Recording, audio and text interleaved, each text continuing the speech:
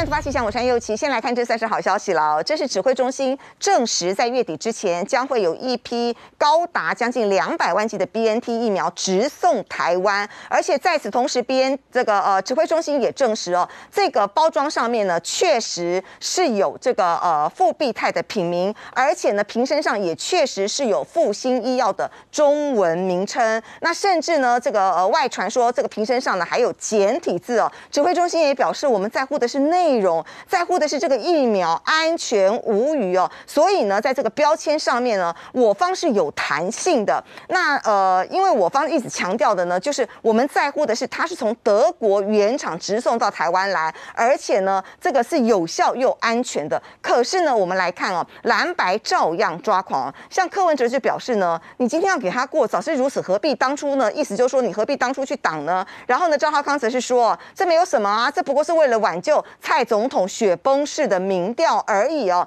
那另外呢，则是民众党的这个立委呃蔡碧如呢，则是质疑哦，会不会到时候又被打成红色疫苗啦？所以现在指挥中心要不要给他过？那现在看起来都有话说。那到底要指挥中心怎么做呢？好，另外呢，就是高端疫苗在开打过后，确实有一些特殊状况，包括死亡案例的发生哦。而这在国内呢，似乎也真的造成了一波这个退打潮，这让这个台大几位名医非常的忧心哦，包括了李炳宇医师。还有黄立明医师呢，都呼吁指挥中心要尽速调查，赶快公布结果，好让民众来安心。不然的话呢，国民党呢又要这个见缝插针，持续的抹黑造谣吗？好，甚至呢，这个国民党立委费鸿他还说，鬼月还没过哦，很多冤魂都会来找陈时中部长哦。不过这番话说出来之后呢，也让网友大酸。这个是继国民党青年军喝浮水之后又一力做吗？问政一定要这样一直秀下限吗？好，先为你介绍今天的来宾。首先欢迎资深媒体人丁学伟，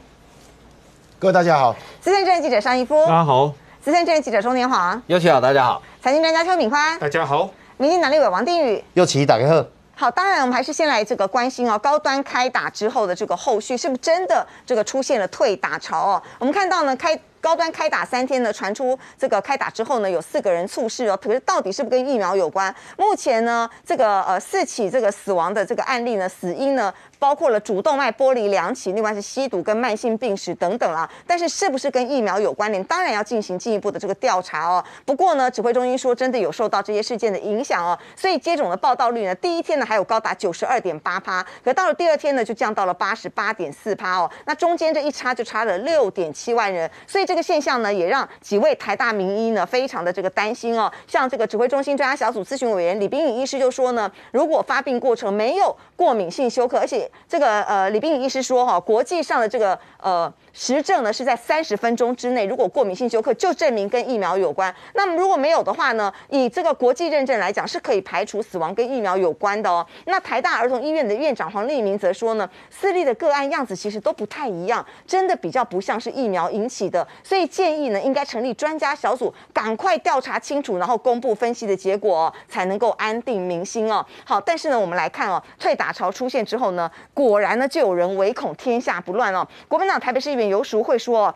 说这个高端征求受试者的时候呢，竟然排除了五类人，哪五类人呢？他说包括了病情不稳的慢性病患，免呃有免疫疾病的患者，还有刚做完手术的，还有癌症治疗中的，以及怀孕跟喂母乳的。他说呢，可是，在施打指引里面，并没有排除这些人呢。他说呢，因为排除这五类人，他的意思就是说，难怪后面呢都说做完实验之后呢，没有什么副作用哦。好，但这个指控是真的吗？另外，柯文哲则说呢，我们就是在帮高端做大规模的第三。三期试验呐，那国民党文传会副主委黄子哲则说，高端死亡案例通报的时间竟然比 A Z 跟莫德纳还快，这个真的是超英赶美啊！哦，他就在酸了，他说啊，人民啊被当白老鼠，付出的代价真的太高了。可是呢，打不打高端呢，早就变成政治问题了吗？看看这些人说的话，国民党立委赖世宝说，高端疫苗是全世界最政治的疫苗，说完全被政治包装保护。他说啊，难道台湾人的命不值钱吗？这就是道地的草菅人命哦。然后呢，这个中国董事长赵少康则说，死因还没有厘清，高端没有完整试验之前立即停打。朱立伦更说，嘿，不但要停打，国民党呢还会帮助受害者，我们去集体诉讼，我们去对这个陈时中提起集体诉讼。好，另外更扯的是，国民党立院党团总召费鸿泰怎么说？他说指挥中心竟然用高血压、糖尿病、吸毒的理由，轻松就把这些死因带过了。他说陈时中部长啊，现在还在七月中啊，现在还是鬼月啊，很多冤魂小心哦，会去找你的啦哈。好，我也请教他这个学委了哈，你怎么看这个这些人的这个说法了哈？嚯，连那个冤魂会去找陈时中这种。话都讲出来，我差点讲鬼话哈，鬼月嘛哈，好，这种话都说出来了。然后另外呢，当然像这个游淑慧就说，哎，高端追求受试者的时候排除了无类人，难怪这个后面呃你们出来的实验报告说没有什么副作用，这样讲。公平吗？真的吗？还是在造谣啊？我是觉得国民党这一阵子的一些说法，哈，嗯，就是因为他们党主席的选举快到了，所以他借的这个事啊，打蛇随棍上，哈，一鼓作气把所有的议题全部丢出来。嗯哼。可是你会发现说，丢出来的很多议题，你就会发现说，哎，金价是荒腔走板，你们在那攻什么挖沟了，空龙博。而且我觉得说，他今天也不管你耻笑他或怎么样，嗯，反正今天就是在抢声量就对了。对。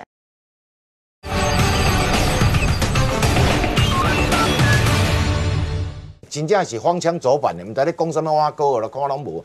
而且我觉得说，他今天也不管你耻笑他或怎么样，嗯，反正今天就是在抢声量就对了。对，这就符合赵少刚当初讲的战斗蓝，我就是要战斗。哦吼，我即使用抹黑战术、乌贼战术，我也就是要战斗，对不对？嗯，那这是他们现在掌握的一个一个一个一个选举的脉络嘛，一个战略嘛，对不对？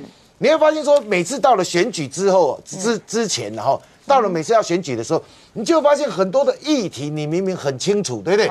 这个根本是非在哪里，都有一个曲折在里面呢。对。可是我就跟你讲说，他不管你是非，这个时候只要是能够蹭声量就可以了哈。对。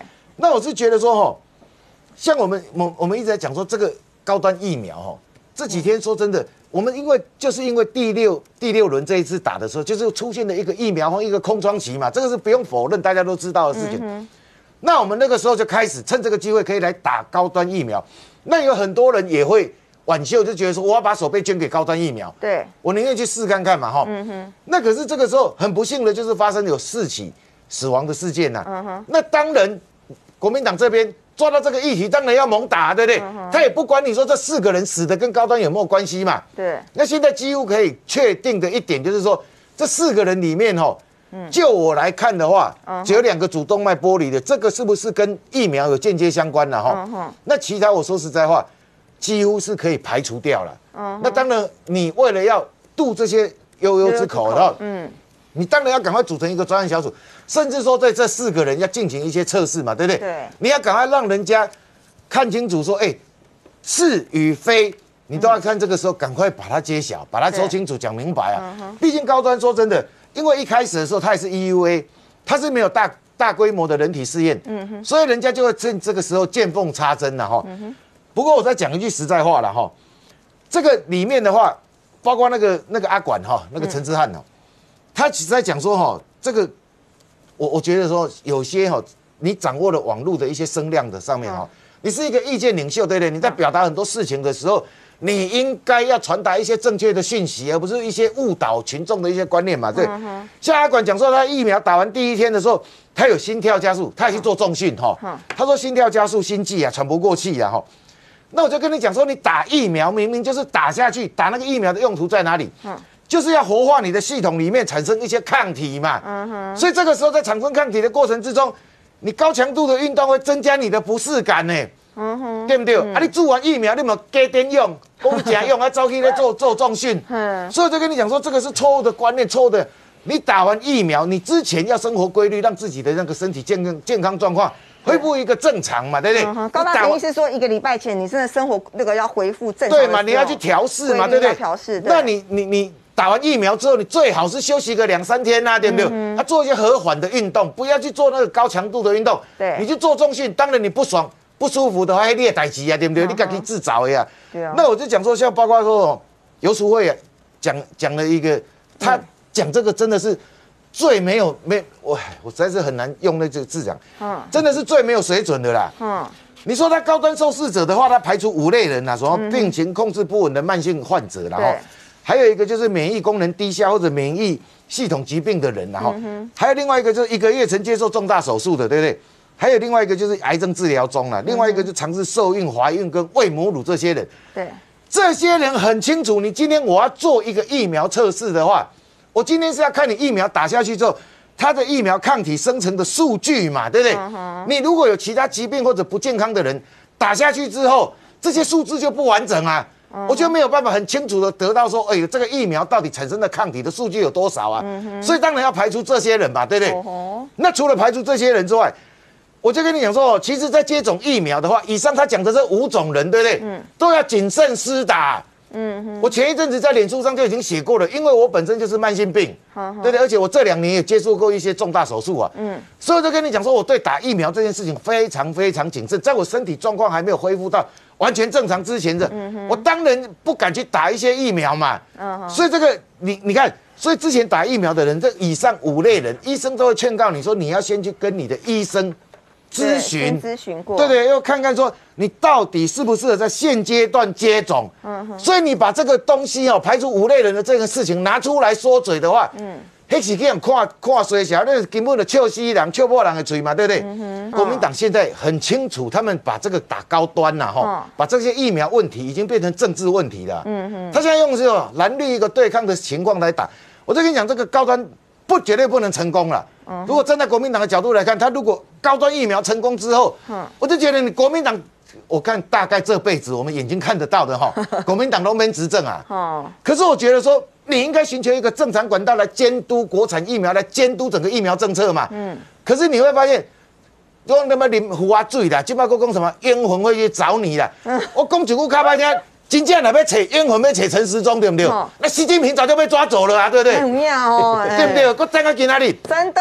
所以你讲的冤魂哦。对你如果讲的这么有有道理的话，那公起来，中国大陆死多少人？而且他们现在还要求你老百姓，什么一定要打呢？他不是在给你选择呢，嗯，对不对？啊，给我减举奖金呢，这个我们等下再来谈呢。嗯，所以就跟你讲说，你问政哈，嗯，可不可以用一些比较客观观点、比较让老百姓能够接受的一些角度或者方法来问政？嗯哼，不需要用这些奇奇怪怪的角度来看的哈。如果冤魂在七月的话，我公斤姐今年七月冤魂也比较少了。也不不大敢上来了，因为这些东西用修的修的病毒都无去啊，哈，对不对？而且很多人上来之后还要隔离啊，他干脆不上来，所以不用讲那么多。这个一我们如果要歪楼的话，我比你更加歪，哈，对不对？所以哈，希望说国民党哈，你这个选举哈，这些议题、这些说法，说实在话，到国民党党主席选完之后，大概就。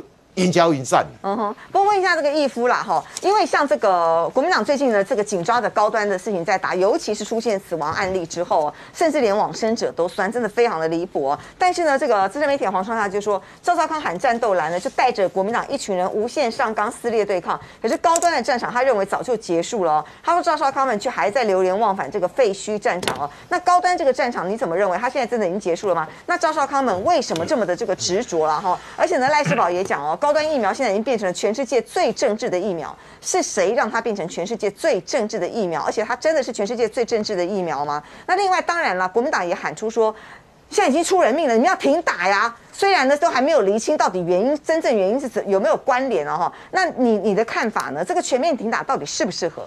我觉得一件事哦，就像我所知道了，我所知道，就是政府他现在对高端所。看的当然，现在已经打完以后有四个死亡案例，到底什么原因？目前为止你不能很肯定的说，但是他现在要看的是未来在施打以后的数据，可能判断如果跟疫苗会产生关系的话，有可能会做停打。所以现阶段的数据，他们看来还不至于要停打。我我觉得我不太去理会。国民党说的话，好，我觉得听了也没什么太大意义啦，因为长期以来他们就这样。好，你有没有办法去讲出一个可能跟高端有关的一个真正的科学的原因出来？如果不具科学的原因，是用政治言语造成人民的恐惧，那有多少人民会被国民党吓到？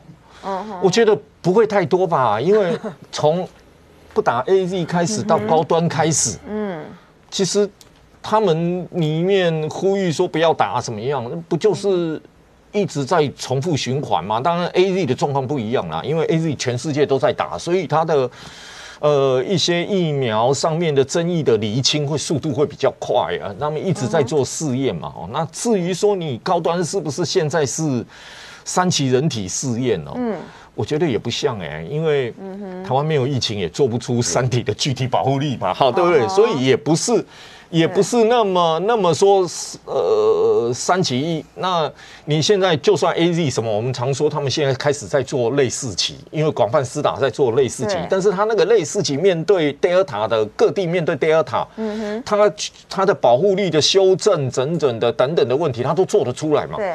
那台湾目前是做不出来的，因为这也不知道说。对高端疫苗来说，或是对国人来说，是个幸运还是不幸运？因为说幸运的话，是因为我们的疫情虽然爆发过一段时间，但我们很快又控制下来，让我们的呃疫情的环境让人民相对有安全感。但是你相对有安全感，你对高端的试验的具体的数据，你就不会有，是一个。很矛盾，你到底要选择安全感，还是要选择疫情大爆发的试验？当然，我宁可选择安全感。哎，我一定选择安全感嘛，因为，呃，如果台湾社会是安全的，那疫苗缓一点打，或是呃慢一点打，或是说两剂的间隔可以拉长一点，相对你在安全环境里面都接受嘛。对，所以我觉得，嗯，这些用语，我觉得不需要去叫啦，因为你。是，我觉得是你，你指挥中心你要到达什么数据、什么判断，开始停打，尽速告诉人民。然后这四个例子尽速去厘清。对。那至于说交生停打，那是同时六个是同样的因素，血栓，它是同样的因素。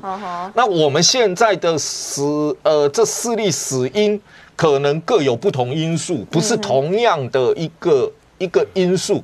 嗯。那是不是造成一个呃指挥中心所认定的数据而考虑停打？对。但是我觉得一件事啊，尽快离京啊，这个人民的信心比较重要了。嗯哼。但是问一下这个年晃了哈。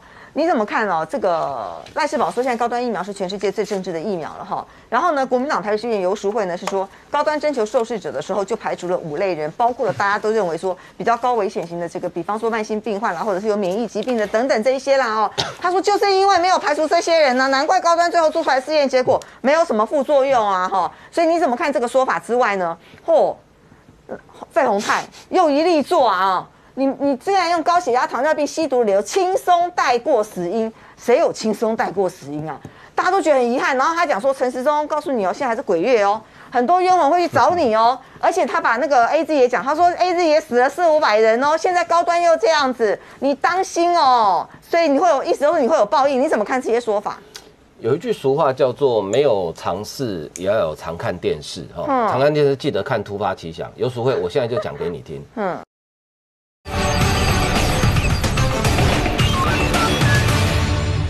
游淑慧，我现在就讲给你听。嗯，你讲这个就是根本完全没有尝试的话。嗯哼，全世界所有的疫苗，除非它这个这个药品，我讲全世界所有的药品在做临床实验的时候，除非说这个药品是针对要治疗特定疾病的。嗯哼，所有的药品在做临床实验的时候都会排除这五类。哦吼，为什么？甚至还有它可能少了一类，六十五岁以上的长者通常也会被排除掉。哦，为什么呢？因为根据这个医学的伦理，在做药品临床实验的时候，以高端治疗做了四千个人，对不对？嗯哼。不是有一个有颜面神经麻痹吗？对。他其实只有一例。嗯。就说你在做临床试验的时候，就算只有一个人，你都要写在你的访单上。嗯。这是医学伦理。所以他为什么不找六十五岁以上？为什么不找这个五大类？是因为这五大类人身体的状况本来就跟一般人来讲比较起来，相对比较不稳定。嗯哼。他有时候疫苗打进去之后。不一定是疫苗造成的，但是可能他身体正好那个时候出状况，但是因为他刚接种完疫苗，刚接受完实验，所以他访单上就必须写。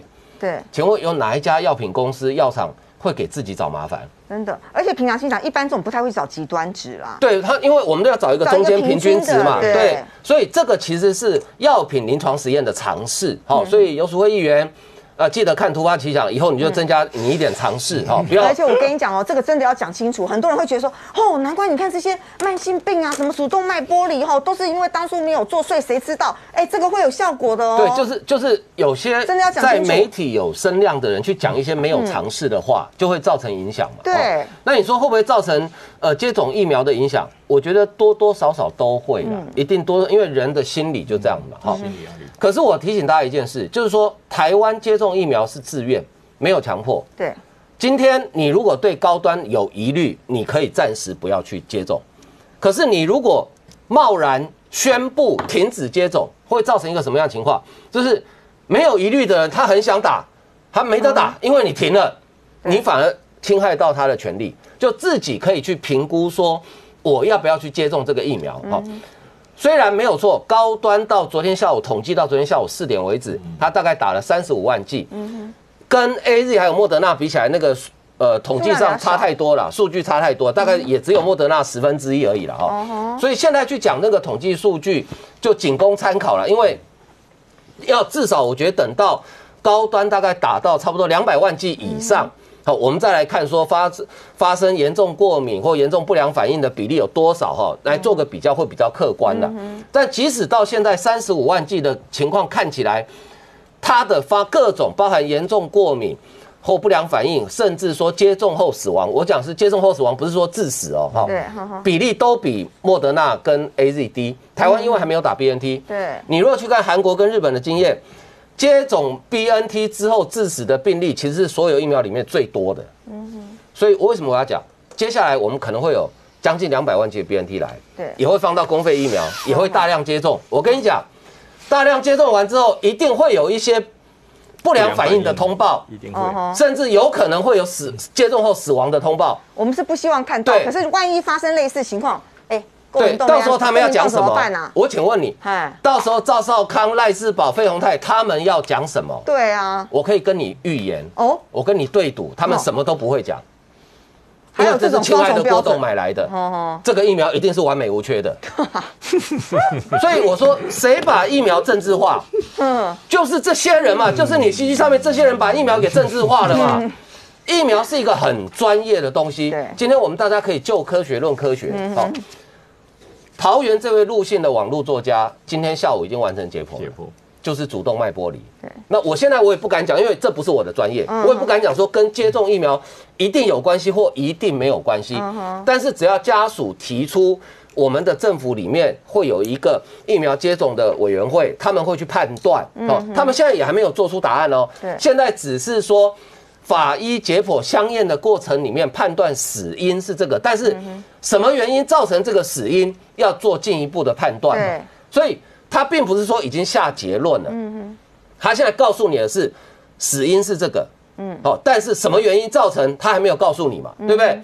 大概唯一一个我确定可以排除，大概就是吸毒那一个了。对，那个应该哦，因为那个混打不要随便自己随便混打，就是高端不能混海洛因啦，这是 这是常识了哈。千万不要吸毒，对嗯，所以大概那个是可以排除掉，其他三个我都持比较呃保留，就是尊重专业嘛。就家属如果提到那个委员会，那个委员会最后会做成结果嘛。嗯。但是我已经可以告诉你说，台湾接种疫苗到现在有提到这个委员会的。没有判定一例是因为接种疫苗导致死亡的，嗯，好，这这是我可以告诉你的结果，嗯那这个叫做科学，嗯哼。我也不觉得这个委员会让民进动哎啦，黑不扣零的代机啦，嗯一个专家可能会犯错，但是十个专家同时犯错，嗯，那个几率可能比彗星撞地球还要低吧。当然，在中国我就不敢讲了，因为中国只有一个专家叫习近平啦。所以我觉得拜托这些人哦，尤其费鸿泰，你不要再讲那种仇恨式的语言，真的，那个对台湾的防疫真的一点帮助都没有。嗯，今天高端的疫苗，你知道我今天。还碰到一个这个电视台的保全，他我要进去了，他很小声跟我讲，哎、我跟你讲，我前天去打了高端疫苗。嗯哼我说啊，你昨天有没有上班？他说很正常啊，我就打针的地方一点点痛痛的而已啊。就这几天我问过周边所有打过高端疫苗的人哈，大概基本上第二天都可以正常工作，然后呢，呃，也没什么副作用哈。唯一啦，有一位女性的同业她抱怨是副作用是她肚子很饿，害她胖了一公斤。啊。其他大概很多人肚子都因为说肚子真的很饿，对，对，就是吃完就会还三公斤的那是忍一忍啊。心那，是心情放松下对啦来之后就也也有可能可能啦哈，对。这这比斗亏嘛哈，所哎。以所以是有可能哈，所以就目前为止看起来，就是说你去排除掉那些极端值哈，其实高端普遍的副作用。它其实是比 A Z 跟莫德纳来的低哦，这个其实符合它的二期实验解盲的结果哦，哦，这个部分是相符合的哦，好，所以我觉得高端疫苗好不好，有没有效，嗯，的确，因为没有办法做那个三期大规模的临床实验。其实义父刚刚讲对，在台湾也做不出来，因为我们台湾环境是很干净的。对。可是至少有一个案例啊，布桃有位护理师，因为打了两剂高端疫苗，同桌五个人确诊，脸临安的丢。结果他没事，狮子王去抖哦。对，结果他没事，而且他跟他先生每天生活在一起，结果他没事哎。嘿，他当时他当时也是以为只是自己运气好，防疫做得好，就后来解盲之后才知道哦，原来他打的真的就是两剂高端的疫苗。结果至少证明，就这个案例证明，高端可以挡住英国的阿尔法病毒，因为那时候流行是英国阿尔法病毒啊。对，至少可以挡住阿尔法病毒嘛。所以你说它有没有效？至少就布桃这位护理师来证明它是有效的。当然，我们要看更多的数据，才有办法证明说它的实际的保护力大概到底到多少哈。这个高端也自己必须要去解决、要去处理这样的问题。可是当这个时候，当大多数人现在登记，因为其实登记非常踊跃，高端这次提供八十七万剂，全部被登记完哎，没有剩哎。对，就代表什么？大多数的年轻人，因为这次登记的大部分都年轻人比较多。大多数的年轻人其实对高端是有信心的。那国民党，你们要去想一个问题：为什么你们这些人讲的话，年轻人都不想听？对，很简单的道理嘛。而且你们喊停打，是不是真的停打之后，你看年轻人会恨你们？对，我们想打的要死，你给我停打。没错啊，而且一个很简单的道理：高端的 EUA 的会议记录，它的二期的解盲的报告，还有他在一期之后，在好几个学术期刊的公布的报告，上网都查得到。这一代的年轻人其实他们搜寻阅读资讯的能力是很强的，他们想知道高端可不可以打，因为最后都自己决定嘛，没有人会逼你去打嘛。他们想最后想决定我要不要去打高端，他们都是用自己所收集到的资料去做一个理性的判断。对，那我觉得这样做理性判断很好啊，没有人会逼你打，但是也没有人逼谁不可以打任何一支疫苗嘛。所以我真的请国民党这些人哦。你再继续围绕在高端这个战场里面，对这个战场能让你们再打多久嘛？嗯哼，不过还是问一下这个定宇委员了哈，呃，你怎么看这个蓝营他们的这个说法然后那柯文哲说呢，我们就是在做大规模的三期试验嘛哈，然后呢，这个费鸿泰甚至讲说。好，现在这个呃鬼月哈，我告诉你哦，你们用这个这些理由轻松把死因带过，冤魂会去找你的啦哈。当然呢，国民党现在也在讲说，指挥中心你要赶快告诉大家哪些人能打，哪些人不能打呀。哎，国际疫苗有有这样子，哪些人能打，哪些人不能打吗？你怎么看啊？我一直觉得我每天去应付一些坦白讲胡说八道的话，浪费我们人生好多时间。嗯哼。我先讲正面的消息啊，我们的疫苗大概从明天以后开始。会有多批次的，在八月底之前，嗯哼，A Z 跟莫德纳到货，加总起来应该是接近一百五十万剂。哦吼，那除了这个部分，这都是我们自己买的。OK，那莫德纳是七月底要给我们，可是七月二十七号有没有？那时候莫德纳的实验室出问题，对，全国境外停止供应。是补上一次的。嗯，那另外 A Z 也是七月份。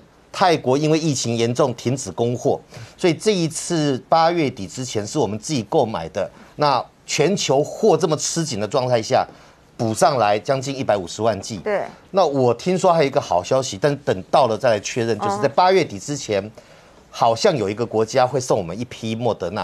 哦。哦，一批哦，量量听说我本来以为很少了哈，但是等到了再说。OK。那九月初的这一个 BNT 的货呢？呃，应该是一百九十万剂出头啊，能够到台湾。那我想，呃，B N 呃 A Z 跟莫德纳对于我们长辈第一季打完，现在等第二季的就可以开始接上来了。那莫德纳对有一些医护人员打了第一季莫德纳，现在打第二季莫德纳的也可以跟上来了。那辉瑞 B N T 的部分，因为它适合十二岁以上的孩子来打。事实上，现在实验过关的包含莫德纳，嗯哼，十十二岁以上的孩子也可以打。对，所以，我们开学这段时间。我们的小朋友可以来接种疫苗，让他在学校，因为小朋友你要限缩在一个空间，有时候比较难。学校打，哎，对，到那到学校，他在互动当中，他不会像我们乖乖的，又奇叫我们不能超过这隔板，我都不能跟敏宽抱在一起啊。那所以就是在学校小朋友比较不受控，用疫苗来保护他，这些都属于正面的消息。那现在我们好好解释一下一些，我坦白讲。去制造这些纷乱，对国家一点好处都没有。我真的要跟国民党的这些朋友讲，你们这些说法对民进党其实伤害不大，甚至于在政党竞争上，我们应该乐见国民党变白莲教、变义和团。可是他们伤害的是国家整体的防疫。嗯，刚才右奇讲一句话，好啊，你现在拼命的伤害，让大家不敢打疫苗。嗯哼。第二，他进来了之后，损失的人命该怎么办？对，我我我有所谓有所谓这次讲，他上一次不是讲说，哦，中央地方的官员哈打掉了三十二万剂，他们打了六成，抢了年轻人的疫苗，有没有？陈松就打数据要看啊，才中央才不过第二类是一千七百一十二人，嗯，你是算到？难道你们地方政府多数国民党执政报了一堆人吗？到现在我还没听他道歉呢。那讲完那个，现在又在讲这个哦，有排除了哪几大类？嗯，我觉得当民意代表哈，或者学工位的，好像是郝龙斌嘛。哎，郝龙斌这厉爱将啊，重新教育一下好不好？哦，食品卫生哦，食品卫生的也可以啊，食品卫生也可以啊。他你这方面算专家，调教一下好不好？嗯，去问一下，在疫苗的实验有没有排除项目，而这排除项目是不是就是导致的原因？去问专家，因为我讲的你可能不信。国民党应该也有工位专家嘛，哈，那再来费鸿泰，我谢谢费费老了哈，鬼月应景说鬼话嘛，他讲说，我我我觉得搞不懂，他说哦这个这个打高端疫苗哦用个吸毒就要把人家解释过去了，人家家属都没有没意见的，你是每天跟他住在一起哦，就这一个人侯友谊执政的新北市都说哦他已经吸毒在浴室昏倒三次还是四次，是啊。然后吸毒过量，死掉之后，他外面还有还有相关的毒品嘛？嗯哼，而且他手上握着毒针呢。对，然后人人人家检验完了，家属光阿姨的安内啊，家属无奈也接受了。我相信家属还是会伤心接受接受。那他接受了。理由也很清楚了。嗯，你现在虽然说不要不要这样子哦，英文会来找你算账哦。不要说枪毙陈时中。对啊，你不要找一个什么吸毒就要解释过去，我你要怎么办嘛？你告诉我，这个就是事实。那我要怎么解释？真的，除非你费鸿泰告诉我说，这个人是你朋友，你哦跟他在一起比他家人还久。否则看不出来你是要解，你是要说明什么？还是这个冤魂有去找你，这个让你伸冤？那你就审乌盆嘛，你弄个乌盆来审给我看呐，演个大戏啊，这样真的不好嘛？毕竟是国会议员，所以，我我们回到现在面对的现象就是，嗯，打高端不管出现几例，有人过世，我都觉得应该难过，因为我自己亲眼在处理一件，因为打某个疫苗，那个疫苗是外国的，嗯哼，呃，很大家很多人喜欢打的，六十四岁。我到殡仪馆去的时候，他家人他女儿在那边哭说，他说他真的不能接受啊。嗯，我相信没有人可以接受我的亲人，张赫赫给那突然间就离开了。嗯，没有人可以接受，所以我常讲，亲人无法接受，哪怕你要害审查委员会认定的理由，他不接受，我都觉得要尊重。可是政治人物、媒体跟媒体人不应该拿这个来操弄。嗯哼，因为你知道怎么做对国家好。对，现在这个是人性的问题。现在有关说这个疫苗要不要停止施打？嗯，我倒觉得如果有注射疫苗，不管什么品牌死亡，应该要严格审查原因。家属不愿意，我还是尽量就现有证据来调查。那严格审查完。该怎么办就怎么办，尊重专家的意见。我的专家不包含我这种立政治人物，我不是医疗专家。还有一些医生在讲政治的话的也不算，精神科在讲防疫的更不算。好，就是说 让专家去做判定。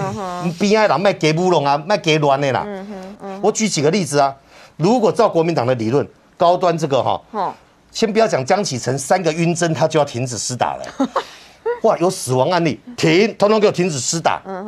那用用国民党现在最信仰、最喜欢的 B N T，B N T 在日本到七月中统计已经有八百二十八注射后死亡。嗯，所谓注射后死亡这个专有名词是指时间序列关系。对，但是要经过专家判定才有因果关系。那根据国民党现在只要有人打了死亡，就是所谓的时间序列关系，注射后死亡，通通都要停止施打的话。B N T 日本八百二十八，那还是上个月的数据。韩国 B N T 两百六十四，也是上个月的数据。你告诉我要不要停止施打？哎，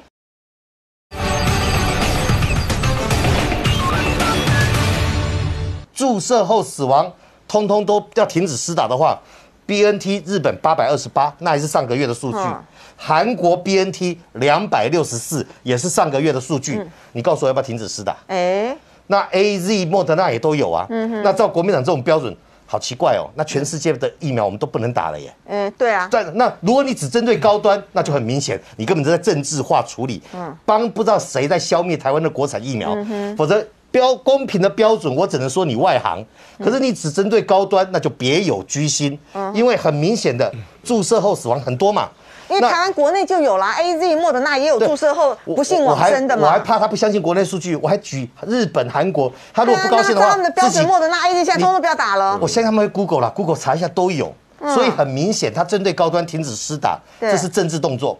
那以柯文哲市长，他常讲说我是专业的，嗯哈，我有很多医生朋友跟我讲哈，医生不见得对疫苗专业了，要看科别，甚至于小儿科的也要看他有没有钻研这个。嗯台湾通常在疫苗是小儿科跟免疫医学的是比较内行的。对，如果他讲出说啊，高端根本在拿台湾做三期实验，我都接受你的讲法。那你知不知道全世界的疫苗，B N T 美国是去年十二月中拿到紧急授权，那个时候最多只做到第三期的其中报告。对你那时候为什么不讲 B N T 在拿做第三期人体实验？嗯哼，A Z 也是啊，莫德纳也是啊。更扯的是，国民党跟柯文哲之前不是讲说啊，人家中国的疫苗科兴跟国药哈、嗯如果国际验证没有问题的话，就应该要接受要去买。我从来没有听到他们去质疑这两个疫疫疫苗，注射之后死多少人，他们也不讲。对然后注射的副作用呢，也不明不白，也不讲。那这中国的疫苗呢，根本那个 EUV 有没有问题？对，他也从来不讲说哦，拿别国做第三期人体试验，那怎么只对高端这样讲？而且中国疫苗自己承认的就是七七至少七八十种副作用嘞。你知道他们打了一亿人之后哈，对啊我看了他们卫健委的报告，嗯施打一亿剂没有任何副作用啊，没有人死亡。好强的疫苗啊！哇，中国好棒棒，我给他掌声鼓励。那别的国家我连的疫苗质疑都不敢，不敢了，因为它像漫画嘛，你没办法质疑嘛。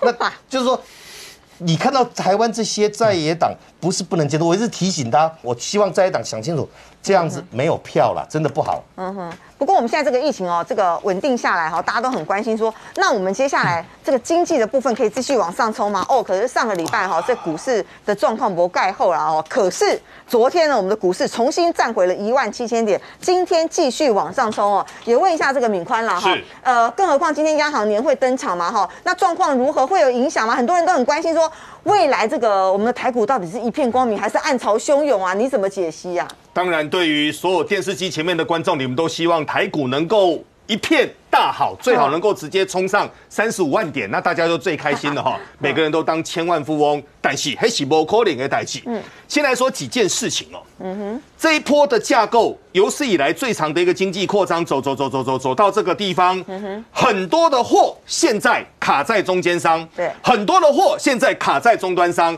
但是这一波的扩张来到这里，成熟产品已经到了一定段落了，嗯哼所以再来会是什么产品往前走呢？再说一次哈，因为很多台我都说过很多次了，但是很多的观众永远都搞不清楚，嗯，未来什么产业会一片光明呢？伺服器业会一片光明电动车业会一片光明，然后高速传输会一片光明。OK 但是很多的产品会暗潮汹涌。为什么呢？因为很简单，你都已经有了，你又不需要买新的，那忘记还会忘吗？各位，它完全就不会忘。同样的道理，这个也出现在各个国家当中。我们要谈一些所谓的科学问题。嗯什么叫科学问题呢？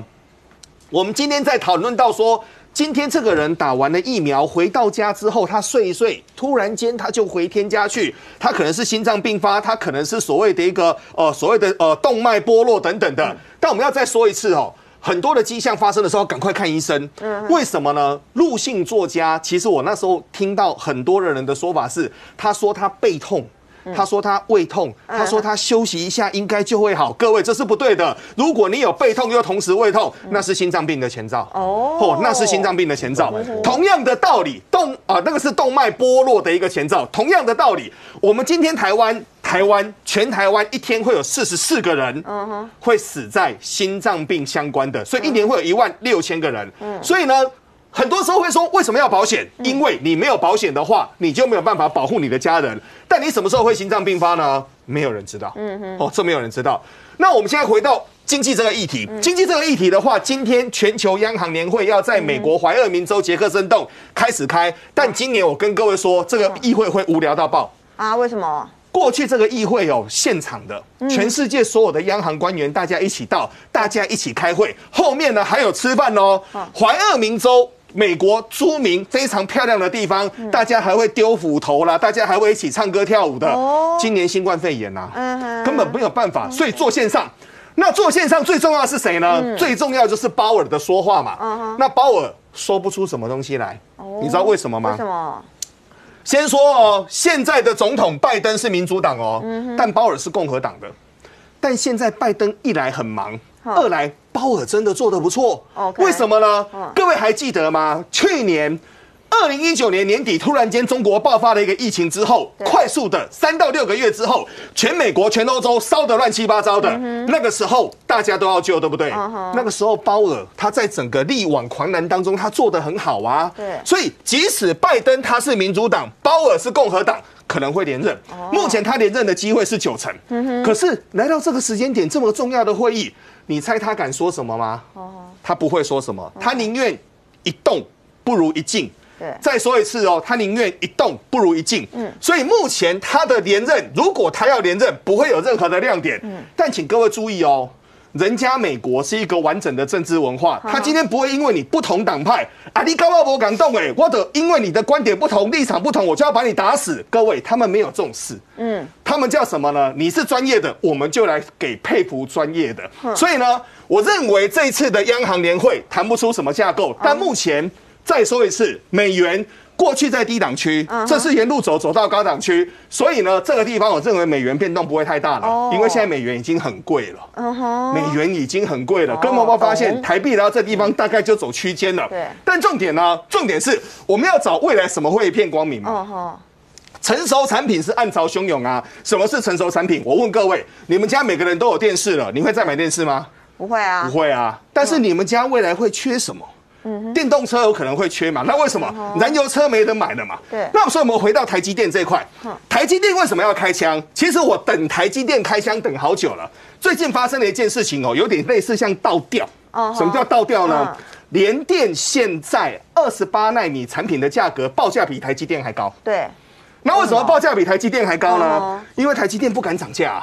那联电呢？联电说：“我都就干单呢，客人都在等我，对不对？来拿钱来排，拿钱来排。所以当台积电开枪完之后呢，这些二三线厂一个一个轮着开枪。所以现在呢，各位通膨越来越夸张嘛。过去是塑胶，因为原油上涨在通膨嘛。钢铁因为所谓的一个节能减碳在通膨嘛。现在连晶片都要涨，那为什么呢？晶片一涨，万物涨。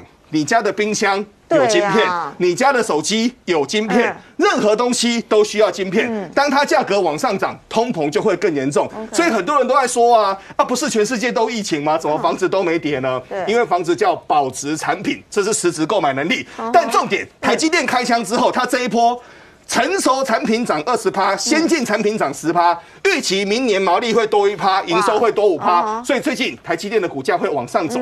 但是。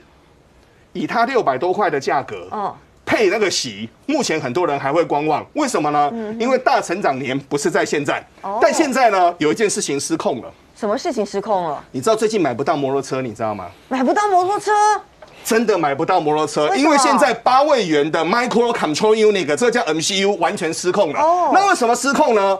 很简单，万物都在涨，我所有的东西现在都要放晶片进去，可是现在晶片排不到。哎呦，那发生什么事呢？现在台湾所有的车厂呢，他们就要做一件事情。过去你买车哇，包山包海，贵的、趴的，你可以买十几万的；居家的、代步的，你可以买四五万的。但现在呢，急剧往内缩。哦。那为什么往内缩呢？没有那么多晶片。过去台湾一年能够做一百一十万台到一百二十万台的晶片，台湾是机车大国哈。但现在呢，所有的大厂他们都把产品线往下压，那为什么呢？控制成本。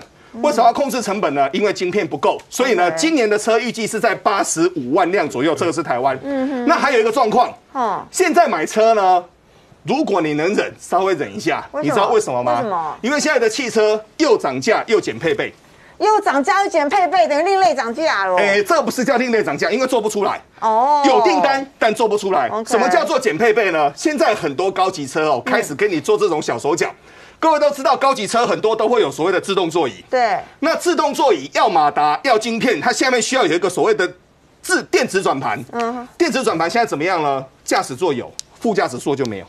啊，大家都在这么做，那为什么这么做呢？哦一样缺晶片，哦所以呢，当机车也减产，有单没有货的时候，汽车也在减产。当 Toyota 说出来说我未来要开始做减产的时候，这个是一个非常大的警讯。为什么呢？因为连全世界最会备料的 Toyota 都减产了，对其他厂要不要跟着减产呢？它也要。那现在重点就来了，为什么会没晶片？嗯哼因为它需求往上走嘛，哦可是它需求往上走，现在很多厂它全部的产能是满的啊。对，那很简单嘛，我要扩厂啊。那你扩厂要不要钱？要钱啊，很多钱，对啊，多少钱呢？目前欧洲跟美国拿上兆的台币放桌上哇。台积电这次要扩厂，要花一兆台币放桌上。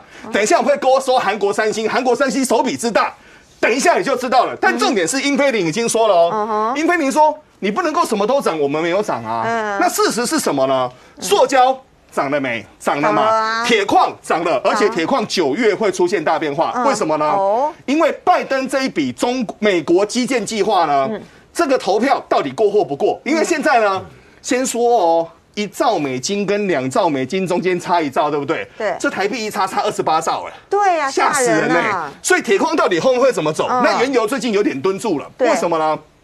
现在大家希望原油不要涨得太高，可是中东又有点乱哦。对，所以很简单，就是我刚不是说了吗？如何解决缺货的问题？嗯，扩厂啊，对，扩厂我要有钱呐、嗯那我要有钱，我不可能说哦，我去跟银行搬货什么的，我最简单的，我晶片涨价嘛。哦吼，最简单的台积电开枪嘛，嗯，但为什么呢？因为这个叫大未来嘛，所以连英飞凌都说了，如果晶片不涨价，我没有办法做扩产，所以英飞凌他们的汽车晶片呢，也涨两成到二十五趴，嗯哼，所以你说车汽车要不要减产？他现在有钱都买不到料，价格还往上走了啊，结果现在呢，最大的一笔出来了，冠军。了，嗯嗯，李在镕先生，李在镕，对，李在镕他最近放出来，我就一直在想，这么重的罪都可以放出来，嗯原因是因为放出来不是因为他行为良好哦，是说他可以振兴韩国经济，嗯哼真的振兴，真的振兴，真假？花多少钱你知道吗？多少钱他现在要花两百四十兆韩元，两百四十兆韩元，两百四十兆韩元当中呢，各分一个三分之二，一个三分之一哦。目前重点区在哪边呢？嗯重点区在晶片。他还要做生物哦，他还要做疫苗哦，他还要做药物哦，他还要做疫苗然后我们台湾呢，就一直跟你说，你的国产疫苗太烂了，不对，包庇等等的。李在镕他最近单单哦，嗯。晶片的部分支出，各位你没看错，看看这个数字，台币嗯。五兆七千四百亿。哇，然后同时呢，两地扩厂，嗯哼，美国扩厂，韩国扩厂，然后呢，他讲出这句话呢，韩国人本来在想说，哎呀，你们这个人哦，又有钱又帅又财大气粗，所以去关都可以被放出来。可是当他讲这句话的时候，大家对他，哎。突然间不生气了，他说：“我今天就是要花五兆七千四百亿，我要把我们韩国给建设起来，同时要让韩国增加四万个高阶工作机会。”哇，四万个高阶工作机会，各位你去想哦，他关在牢里，什么都不能做。对他一放出来，啊所以代表过去不是说哦，汽车业、自传业、什么半导体业都有会长吗？对。这些会长根本没办法做决定嘛，哎还是要他来拍板还是要李在镕嘛，啊。还是他要来拍板。好，那现在重点就来了。刚刚很多人都一直在说嘛，台股这波从一万八修正一千八百点，来到一万六千多，这波又反弹七百点上来到一万七，后面该要怎么走？哪些行业会好呢？我们来跟各位说一下哪些行业会好。这个是我们台湾的今年一姐，嗯哼，环球金的老板，同时带他们的手下都跟哥们一样的秀兰老大秀兰。嗯老大他最近说什么，你知道嗯吗哼？他说最近好多客人哦哦，争着拿钱来给我。真的，拿多少呢？拿一百九十亿的现金到我们家，哇，一百九嘿现金哎，就搬给你哦，就搬给你之后跟你说什么，你知道吗？哦说什么拜托拜托，你未来的一年到三年，你的产能一定要给我，来抢货了，来先订单，嗯这个叫长契约。那我们如果以一比五哦。一百九十亿这样算一算，手上的整个所谓的合约呢，大概在一千亿左右。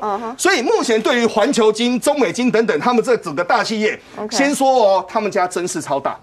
多大呢？环球金、中美金、嗯哼，鹏程、大同，通通都是他们家系列的。哦那他们说，现在重点是在于他们之前打世界杯嘛，对。花了非常多钱，嗯，可是现在世界杯呢，最怕人家给你穿小鞋，嗯哼，所以目前有四个国家还没有通过所谓的一个合并许可，包括了中国、德国、美国、日本，嗯，但是他们希望说可以赶快通过合并啊，那为什么呢？因为两边通过合并完之后，我才知道你有多少资源，我有多少资源，我们可以合并在一起，对。你把你的好的，我把我们的好的，不好的大家一起磨合一下嘛，重点是什么呢？他说高达千亿的长合约全部在手嗯哦哼，但重点是未来的八到十年，嗯，他说晶圆代工业会再成长一倍，一倍啊！为什？么呢？李在镕要投五兆七千四百亿嘛，台积电要投一兆嘛，嗯，很多的公司现在都要开始做扩军嘛，嗯英飞凌说我价格要往上涨，我也要来做扩军嘛，那扩军扩军，每个人都要扩军，要不要原料？要啊，所以他们说未来晶圆代工会再成长一倍，所以呢，只有扩厂，只有往前走才能够解决问题。这也可以解决你的问题。哪一个产业能够成长，能够往前走，未来才会一片光明。那些都在原地踏步的呢，就会暗潮汹涌了。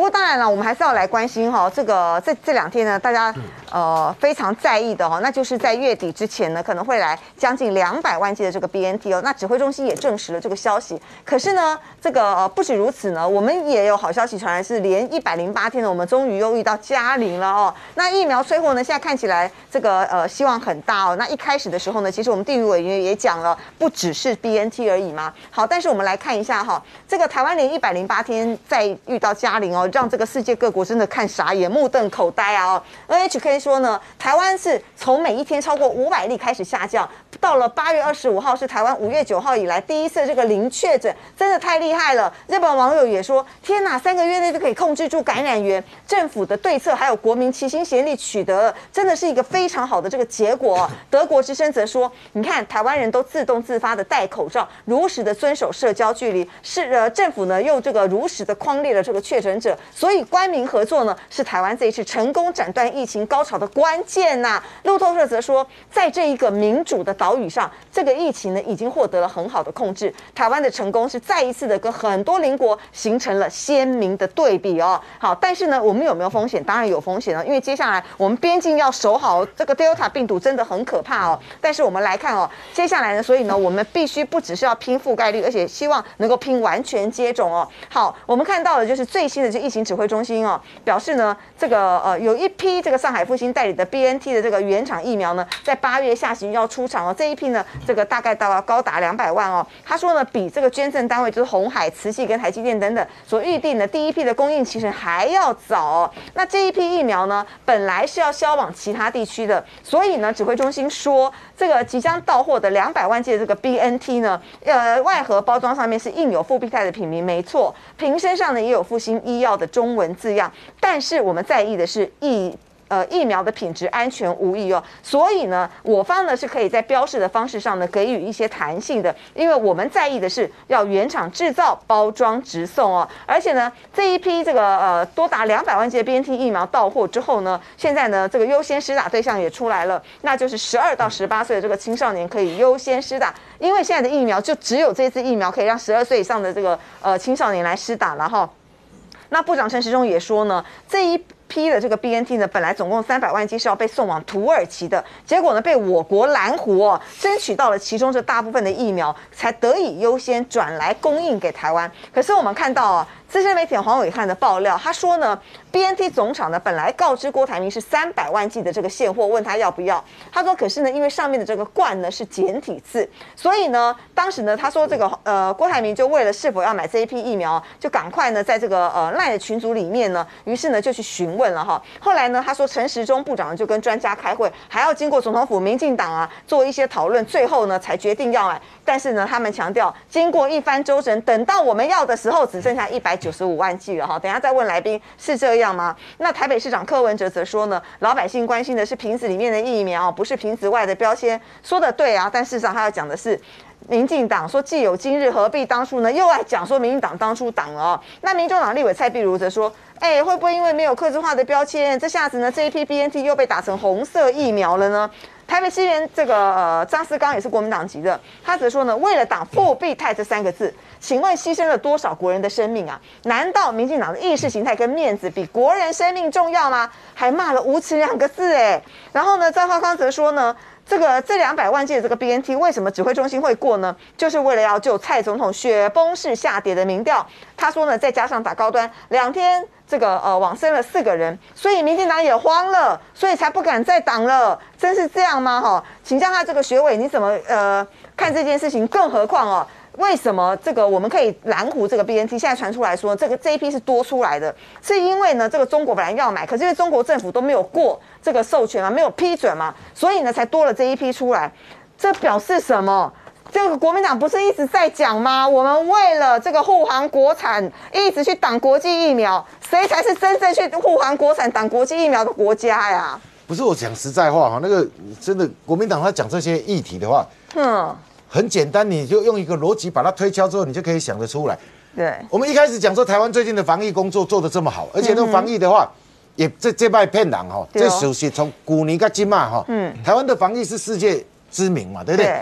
那现在如果国际疫苗再源源不绝进来的话，加上国高端疫苗，如果还有。成功的话，嗯，我跟你讲，国民党就我就刚才就讲嘛，你这辈子有生之年都不用看到国民党执政了嘛，对不对？嗯，所以就跟你讲说，他们当然要各自丑化这些东西的哈。不过我是觉得说哈，如果讲说为了意识形态这四个字哈，比国人生命重要哈，这个我刚刚有点有有点过分了。那个张思刚讲的，嗯哼，因为我觉得说一个执政者不可能为了意识形态跟人命的一个天平的话，没有人会为了意识形态去搞这些了。对，我说实在，当初。郭台铭实际跟那个那个台积电，嗯，他已经要买 BNT 的时候，这个绿灯都已经开了，何须在最后这个关头再卡这个呢？嗯哼，对不对？所以我就跟你讲说，意识形态跟旧下跌的这个民调的话，嗯，或许有可能有存在一点点这丝意味。嗯，可是你如果说真的是意识形态比人命更重要的话，这种说法我绝对不能接受。嗯，没有一个执政者会这样干的啦。哈。好，那我再讲说哈。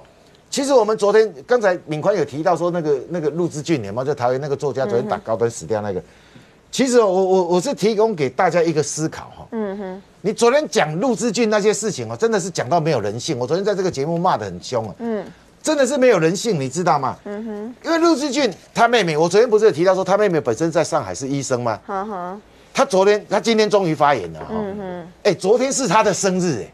是那个陆志俊妹妹的生日，他在生日写下这些东西，他竟然还说他理解大家有各自的立场跟看法，以及文明社会的言论自由。你看，很多人是用那个很恶毒的语言在骂他哥哥，哎，他竟然还尊重每个人的那个言论自由。你看，你觉得在他生日写下这些文字的话，他会不会很痛？嗯，而且他还有一段话，我我给大家听一下哈。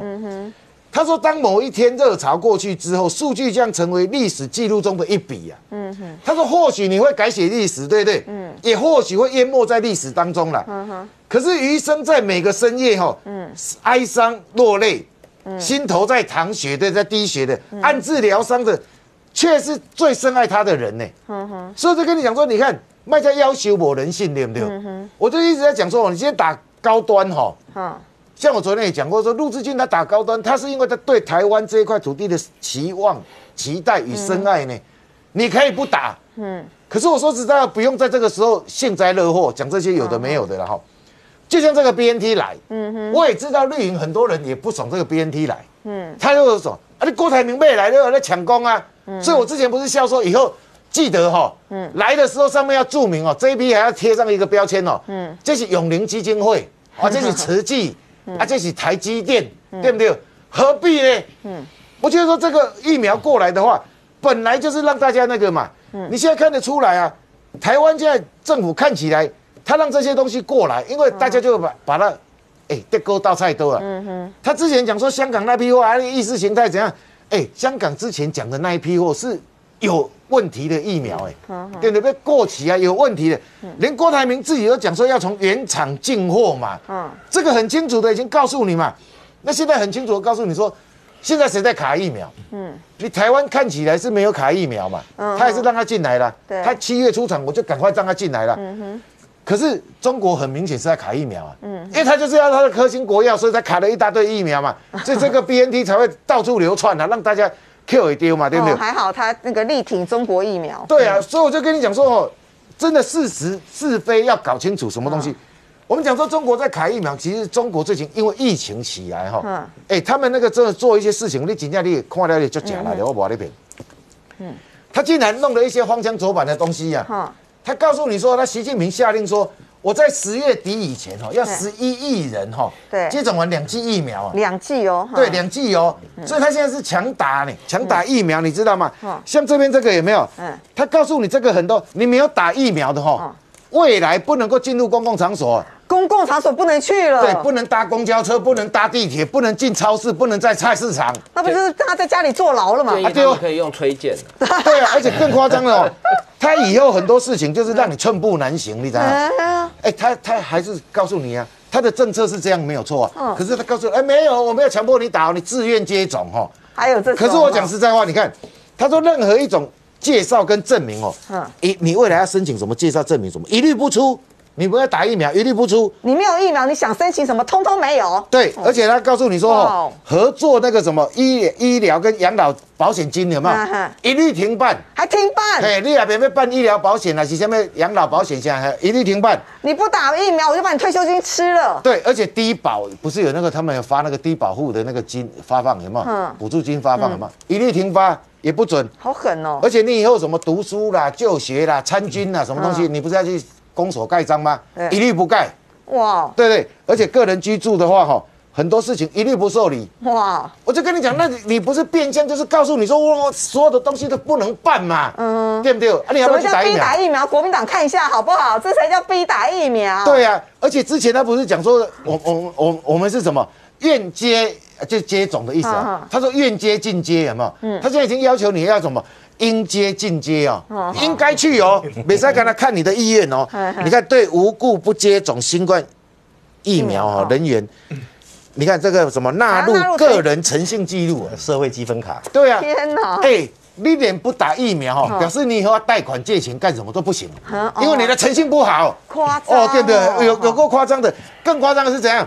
你不打疫苗，禁止上班，停发工资呢？啊，哎你去告发人家说上一波还没有打疫苗，嗯哎，你可以去领奖金的。还可以领奖金。我好我好看的六款哦。好，那除了奖这个之外，金听说还不少呢哦。对，奖金不少啊，那那个那个那个五百块人民币，呃，五千块人民币的，啊，五百块人民币500人民，币。对啊。哦，这个他告发一件，告密成功一件，两千块台币哦。还规整啊，哎头的规定啊，还没。去做的好不？我告发整个最庄的。哎呦，中国怎么那么有钱呐哎，？所以你看，他这样告发之后，他可以领奖金，对不对嗯？那开始就看哇，而且我我发现哦，他为了要鼓励人家去打疫苗，对不对嗯？你看哦，他那个现在花样百出哦，嗯他还有一个广告更夸张啊，他告诉你说哦，我陪逛、陪聊、陪赏月嗯哦，你不小心还以为是人与人连接的广告，你知道吗？对不对？哇，吸引人的那样。哦，而且你看那个很多哦，除了这个之外哦，现在开始抢人呐。我的这个区如果大家都打完疫苗的话，我没有业绩可以报啊。那个还可以报业绩哦，啊，当然啦、他现在地方官员，你看他现在要跨区去抢人呢。还跨区抢人对啊，我开的那。个巴士那个流动接种站有没有？那南京就有啊，我开的流动接种站去那个地方啊，啊你租给没？啊没，啊那个拖来的还是租？哎呀，不一。定，人家都打两针了，继续继续煮。对，而且更夸张的是什么？现在哈，连这个学校都都都很夸张啊，他从学校下手哦。OK，对对，他现在打疫苗哈，还雇人来打疫苗。哦，又是你做给，阿妹也来住一档五千。哦，哦，对。焦康啊，对啊，因为他做业绩啊那个嘛，而且那个学校更夸张，他从学校下手，他现在叫做什么？一加二加 n 呐、嗯哼，一是什么？一个人入学在学校读书，对不对？嗯我现在就加二，就是你的父母一定要有接种记录，嗯哼，对不对？啊，再不然接下来就是什么爷爷奶奶、外公外婆同住的亲戚朋友，全部都要有注疫苗的那个接接种记录。如果没有的话，你得差嘛你对，你规个卡你得害啊。所以我就跟你讲说，你看从这个地方，你就说习近平一句话，嗯，全中国真的是闹翻天呢，你知道？现在湖南也出现那种抗议啊，嗯哼，对的，去广场抗议啊，那逼打疫苗啊，乱打疫苗，搞不好他已经度了打了两三针了，你现在要被拖去继续打，对不对？为了要赚那个钱而且现在更扯的是你看，我就跟你讲说，中国真的是口号治国啊，从以前到现在一样。他这个防疫宣传，哎，你知道他现在有小区有没有好？有那个那个空无人机有没有？无人机又出来了我们我们去年不是有看到那个无人机有没有？嗯还说哎，那位小哥，对不对？穿短裤的那一位嗯，不要出来啰啰嗦，赶快回家，有没有？嗯哼，你看，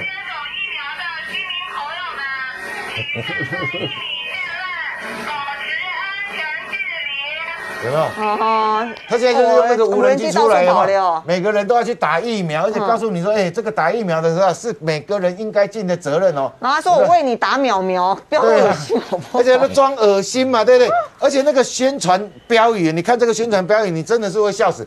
他用儿歌改编哦，我实在是不知道怎么念的，那个地方话我是不会啊。他说什么核酸酸捅伤伤，对不对？捅完回家吃饭饭，你是在整笑的哦。捅完，这捅哪里啊？对不对？而且我捅的喉咙都痛死了，他妈你还回去吃打饭饭？针啊，捅哪里？还有什么躲核酸、新冠冠，得了新冠糖板斑，对不对？得了新冠躺板斑，他妈躺了多少人啊？对不对？而且什么火烧烧变粉粉，你看全家一起哭喊喊，干嘛装是不是可爱啊？对啊受不了，打个疫苗搞成这样。哎，火烧烧，对啊，他去年就是变粉粉啊，就烧完了变粉啊，对。所以就跟你讲说，你看他们连这个核酸检测哈，要你去打核酸，还改编这个哦，我就觉得说这个口号治国治成这样的话，你觉得中国大陆的政策你还可以相信吗？嗯，真的很夸张。可是问一下这个年晃了哈，你怎么看哈？这一次这个两百万剂的 BNT 疫苗，其实能够提前到达台湾是一件好事。对。更何况是我们蓝湖成功，其实真的是官民合作又一桩。可是你看哈。其实呢，虽然讲说是爆内幕啦哦，但是在爆的同时，其实有很多的技巧哈。伟汉是讲说，BNT 有跟郭海明讲三百万剂现货啊，后来讲了之后呢，上面有一个字是简体字啊，结果呢，郭董就怕他的意思说买不成这批疫苗，所以呢就告诉这个呃 CDC，请他们去这个决定到底能不能买。于是呢，他说 CDC 之后呢，陈时中就跟专家开会，又跟总统府开会，又跟民进党讨论，所以等到要买的时候，只剩下一百九十五万剂了。是真的是这样吗？就你知道状况到底是怎么样？当当然不是啊。嗯第一个 BNT 为什么只跟郭董讲？嗯，因为还有台积电啊台积，电还有慈济啊，对不对？对啊那为什么只跟郭董讲？嗯，所以我觉得，当然啦，呃，你说郭台铭，我还是感谢郭董啦，因为毕竟拿钱出来买了五百万剂疫苗嘛，这我们都感谢他了哈。那他那段时间也正好在捷克了，哦。那至于说他是不是去催疫苗催货哦？呃，我只能用一句咱台语讲的，蒙拉啊减 C 口啦，啊，到底是蒙拉啊较多还是 C 口较多，只有当事人知道了。哪有懵丢丢啊？对，因为我也不在他旁边嘛，哈，所以我也不知道哈。但是我觉得我必须讲说，这一次能够拿到将近两百万剂，嗯，其实努力的人很多，台积电是有回报这个消息，对，哦，而且台积电据我所知是最早回报的，嗯哼。那郭董也当然也知道，而且他因为就在捷克就有地利之便，嗯哼。那你说德国的外交部有没有帮忙？有帮忙嘛？嗯那我们的驻德代表处也有帮忙嘛？原厂也有帮忙，德国外交部是帮忙协调 BNT 原厂嘛？嗯那这批疫苗能够我们能够拦截到，真的要感谢中国啦，因为中国不准没有发药证，没有发 EUA 哎给 BNT 嘛，为了保中国疫苗啊，对，嗯所以真的要感谢中国了哦，嗯就是说这一批货。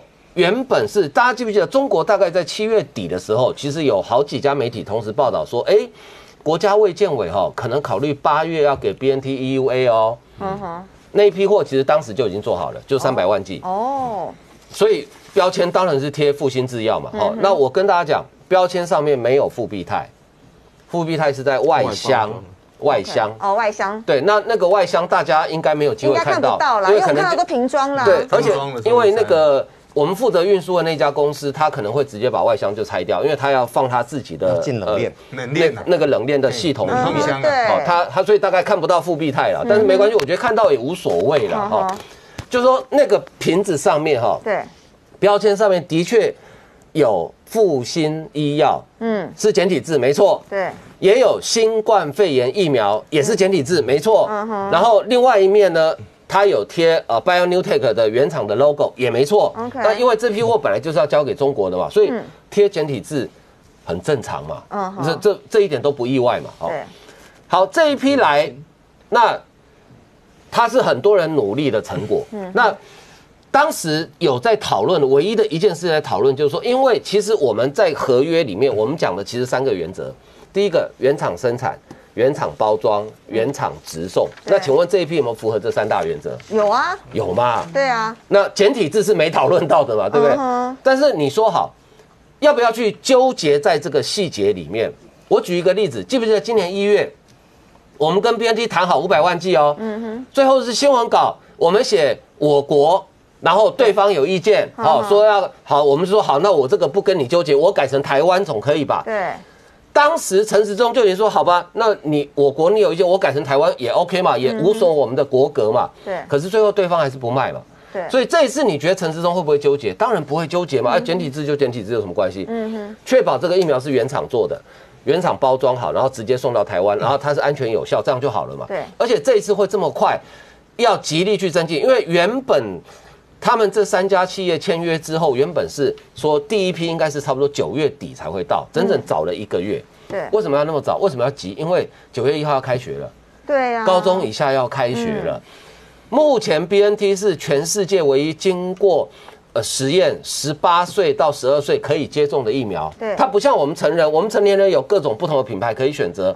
可是对青少年来讲，一干他这这这也当主娘，对，所以当然会急嘛，因为九月开学之后，学生到学校就会群聚了嘛。那如果快点来，学生可以快点接种疫苗，那当然是一件好事嘛。所以我觉得你从这批疫苗进来哈，正好验证了几件这些人过去在说谎的事情。第一个，他们在批评说民进党用意识形态在挡疫苗。那如果要挡，我这次也挡啊。因为合约就是九月底来啊。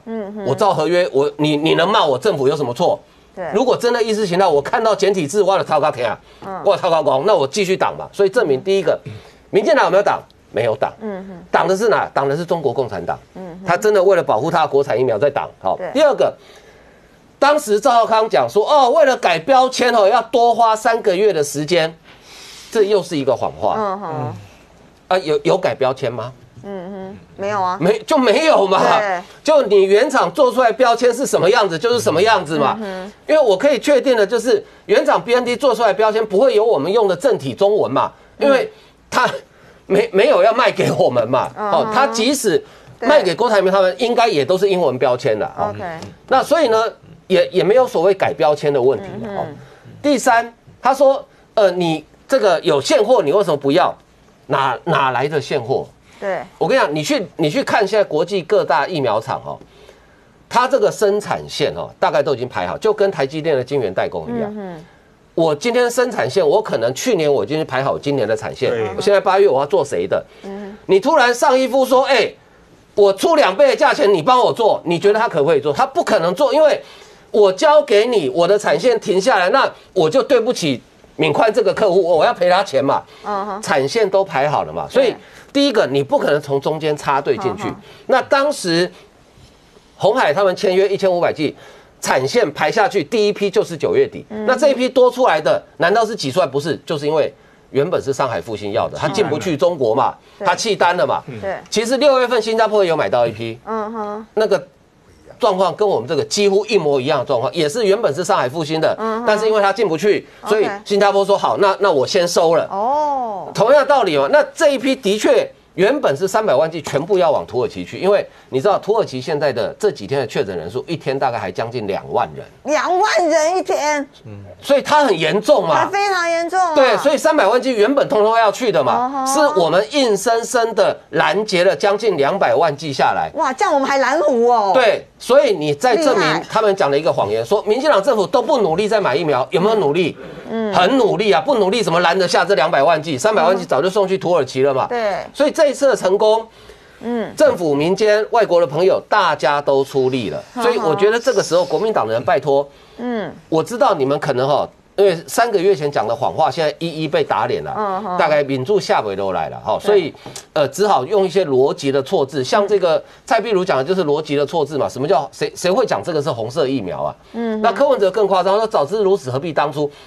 当初就是没有东西可以买啊，嗯哼，当初就是一月份是中国卡住不让我们买，然后六月份的时候签约的时候，真的就是没有现货嘛。嗯哼那这一批现货不是他们讲的六月份讲的那一批，那一批早就已经没有了嘛。六月份有两批，一批新加坡拿走，一批就是香港那一批嘛。香港那一批是有瑕疵嘛，连香港人都不敢打嘛。对那所以这一批货能争取到，我觉得对十二到十八岁的青少年朋友来讲也是好消息。对但是我要提醒指挥中心，今天有很多有几个家长跟我反映，他们的小朋友正好就是十二到十八岁，嗯，其实他们对打 BNT 是有疑虑的哦。哦，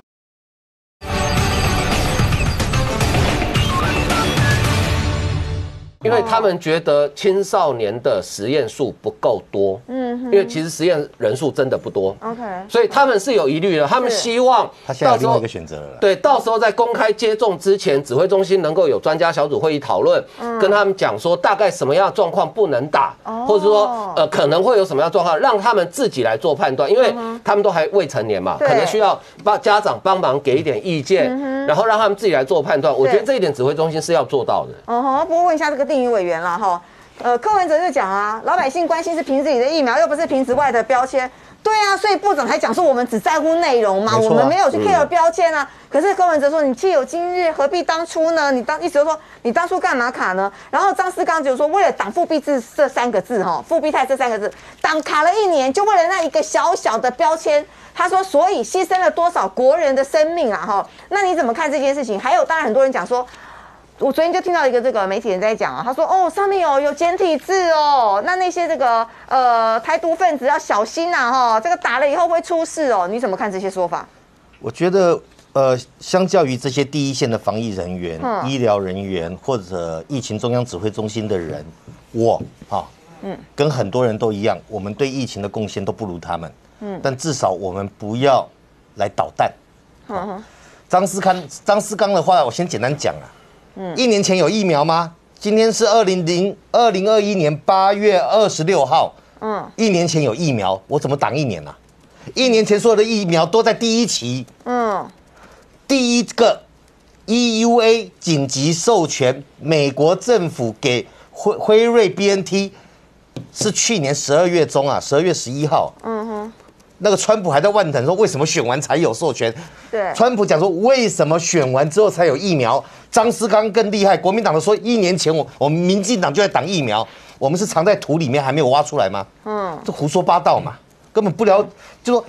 不要为了政治理由去用疫情或疫苗当武器。嗯哼，这个病毒没有分政党，在上面也不会得分。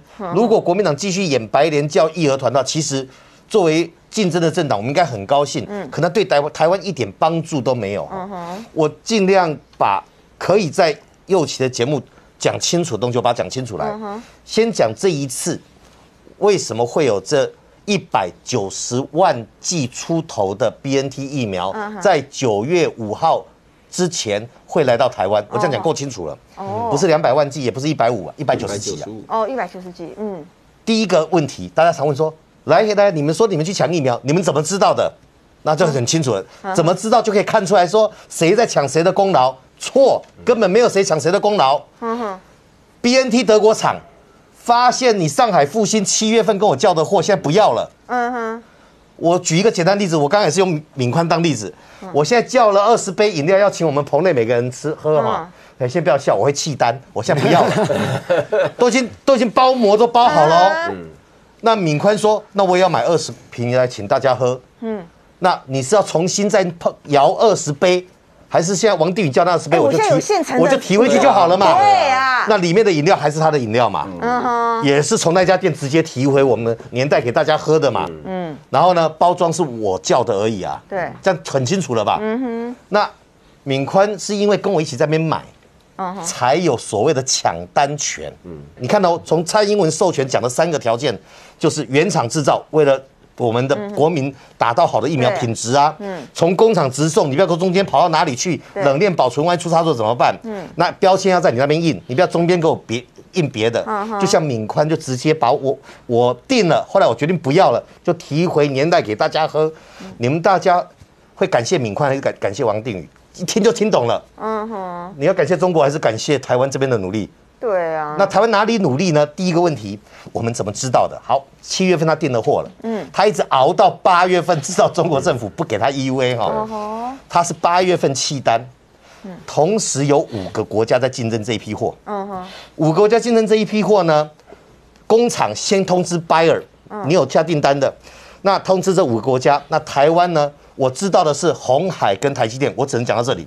第三个我不知道，我不可以把它加上去。，OK，红海跟台积电接到通知之后，嗯立即我们要谢谢他们，他立即通知我们的疫情指挥中心。嗯哼，疫情指挥中心陈时中做的决策，向苏贞昌报告，三个小时内就决定要抢。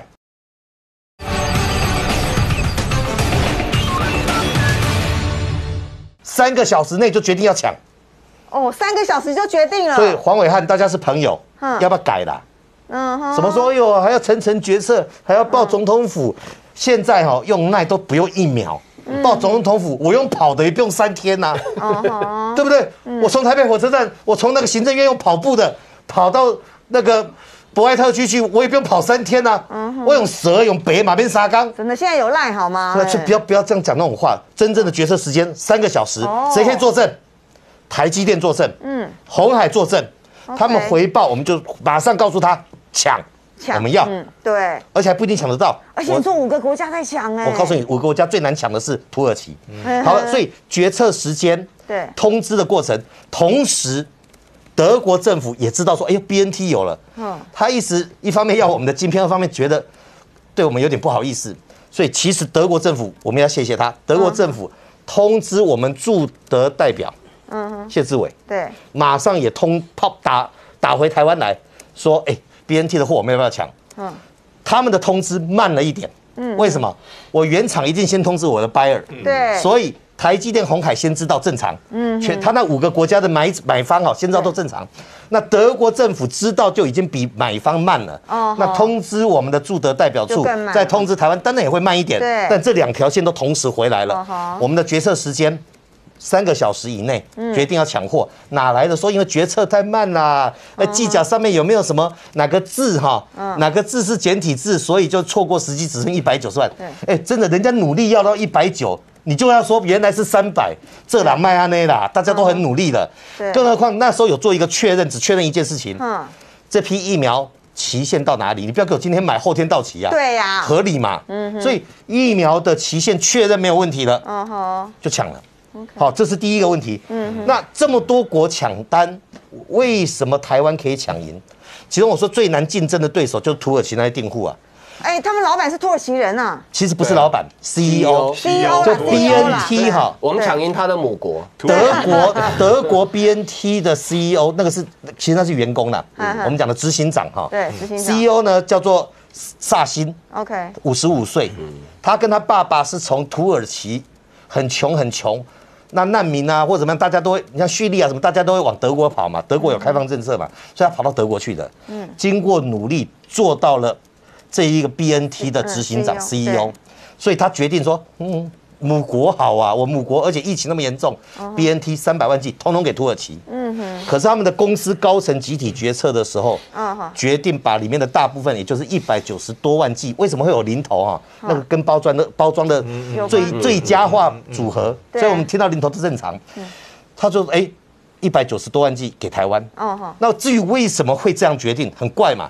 嗯。那据侧面了解，哦哈，德国的 BNT 到现在一直觉得，在二零二一年一月跟台湾都已经讲好了，要卖我们了，对。只差一天就中断了。他自己觉得还不好意思，嗯。他觉得这个部分确实是有不对的地方。然。后你看来找我们要晶片，我们多么阿萨利，他也不管就晶片，晶片是他们经济部长的事情，他们是觉得做生意这样子，他自己其实他知道这是侧面了解，反正就决定给我们了。好，接下来问题，那抢赢了嘛哈，嗯。那这抢赢的过程当中，到底谁的功劳？我坦白讲，有台积电跟红海接到讯息马上回报，当然要谢谢他们。对，那回报了台湾，台湾的行政部门三个小时内做好决策要抢好好，我觉得公务人员我们也应该给他们掌声鼓励。对，那至于有没有府方，有人在猜测，哎呀，总统府有没有谁打电话给谁？我完全没有资讯，我就没办法去提供有或没有，我通通不知道。哈哈，好，那这个是这一个货的过程。嗯那这批货呢，八月底完成过来，那你说那为什么上面标签？第一个，我们从头到尾没有计较那个标签。对，第二个，这叫做现货。嗯，我再讲一次，我去叫了二十杯摇摇，摇好了封膜了，我让干工挖不来啊。嗯哼，那个摊商会把它撕掉倒掉重重来吗？嗯，那刚好现在站在那边等的客人，嗯来这边有二十二十杯哈，不用等的，有谁要？敏宽说我要，你就先拿嘛。嗯那就五个都说我要，哎，老板觉得敏宽比较可爱，还是还是这个中年宽比较可爱啊？还是敏宽可爱？你拿走哈。所以敏宽，我讲完这段，你要买饮料请大家喝了哈。所以我现在是想说，这样子逻辑大家都听懂这个过程了。那现在在那边讲什么？哎呦，嫌简体字啦，哎，本来有三百万剂，为什么呃会变一百九十万剂？OK 我还再讲一次，相较于防疫人员，我我自己在内，我们贡献没有，但是不要捣蛋，不要散播谣言。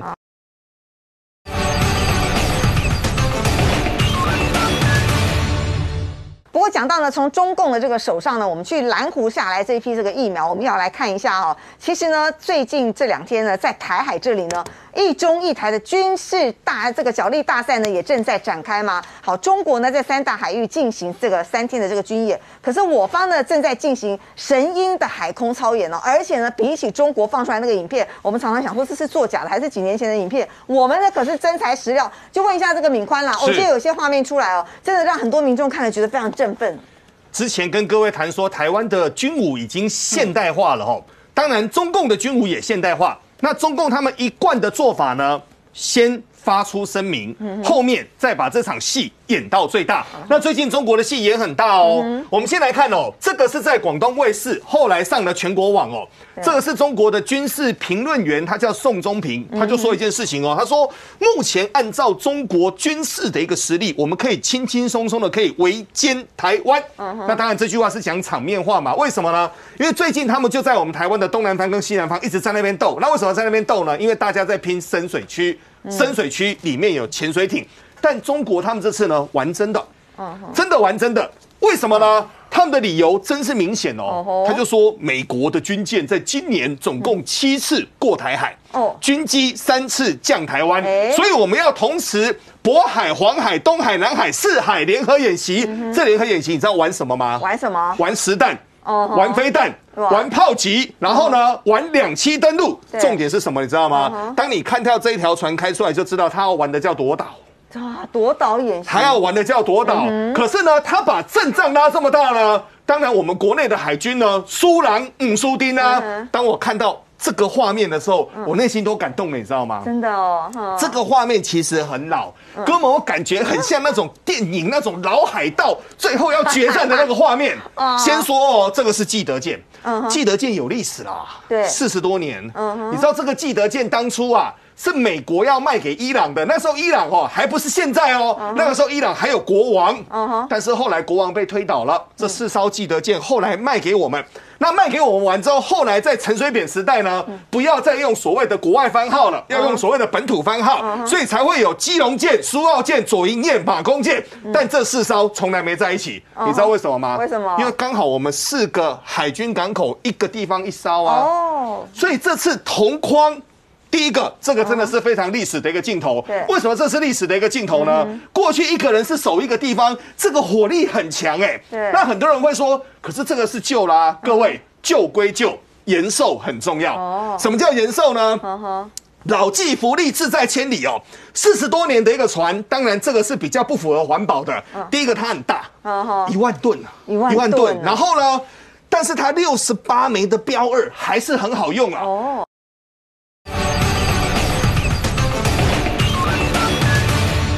很多人都在想说，奇怪的飞弹怎么打出去哦？我在这个地方短短的用三十秒来说，飞弹它本身躺在那边，对我要急发的时候，它里面有一块电池包，这一块电池包呢，我问你哦，车子没油能不能跑？那不能跑嘛啊，？电脑没电能不能跑？不行啊，那我一颗飞弹怎么能够让它里面的晶片能动，让它的导航能动，让它所有的东西都能动？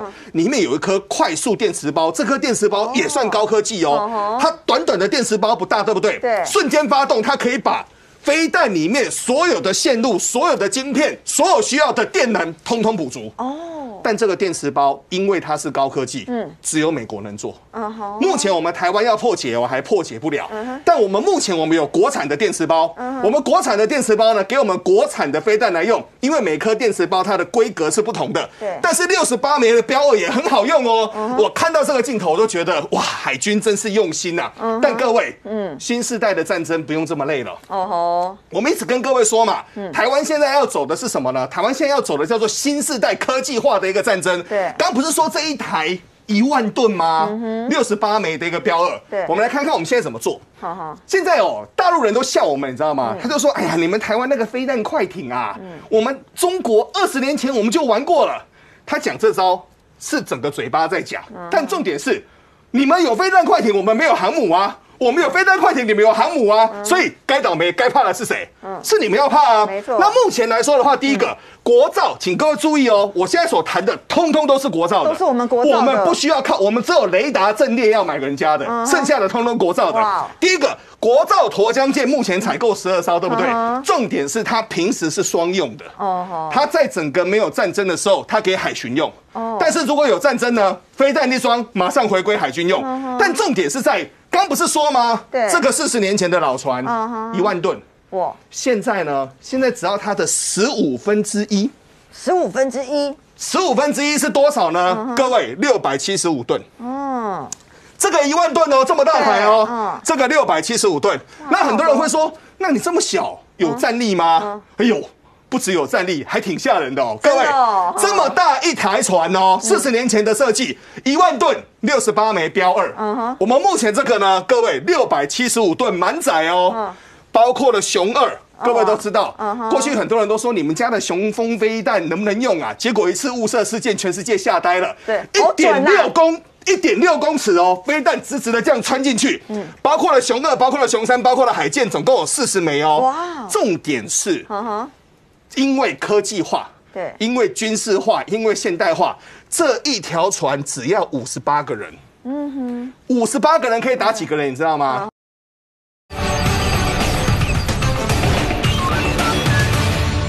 他如果去打航母的话，嗯一台航母上面三千五百个人。三千五百个人，他五十八个人，所以各位一直在想哦，很多人都说奇怪了，人家的船那么大，人家的船那么雄伟，你们为什么不做大的？各位啊。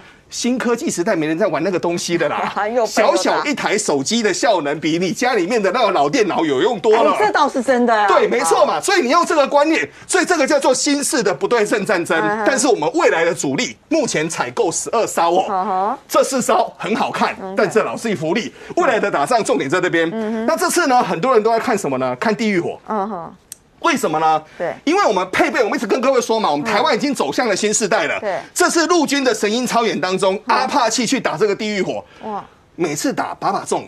把把中，对，真的把把中，所以代表它的准确率是非常非常高的哦。那我们要再说一次哦，我们目前所例行的就是所谓的美军目前所说的，对这个叫精准源头打击好好，外科手术般的精准，就是说过去是怎么样呢？比钱多。嗯对不对？你对传几台，我传几台，大家列阵。现在呢，不搞这个了。嗯我现在一条船可以放倒你十条船，这个比较重要哦。但最近哦，中国其实也挺闷的。哦，你去想想看哦，我今天我有三百八十台的海军舰艇，嗯哼，围在这么小的一个海，就在渤海、黄海、东海、南海，重点是我出不去啊。哎那我出不去，常常呢又要出去，又要跟人家正面摆着干。例如说什么呢？最近日本就碰到这事情。嗯哦吼你知道日本发生什么事吗？